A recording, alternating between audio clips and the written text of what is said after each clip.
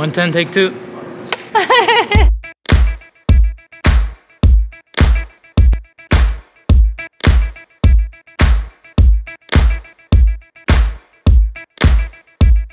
Hi, I'm Joan Smalls.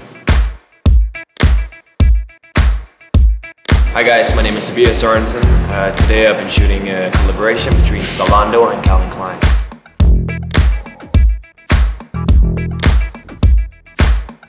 Sexy means to me self-confidence and having a good sense of humor. Sexy to me is beauty inside and out, uh, confidence, and being funny.